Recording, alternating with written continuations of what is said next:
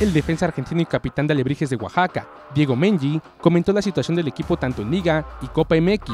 Era importante ganar, más de local, veníamos de ganar con, con Zacatepec y hoy si ganábamos nos poníamos dentro de los siete en la zona de calificación.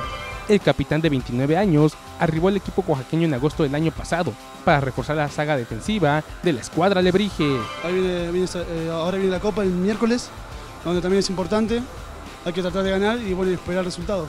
¿Qué le dice a toda la afición? Que, que venga a apoyar, que este equipo va a dar el máximo, que va a dar todo dentro del campo para llegar a- hasta muy lejos. Para MBM Deportes, Jair Toledo.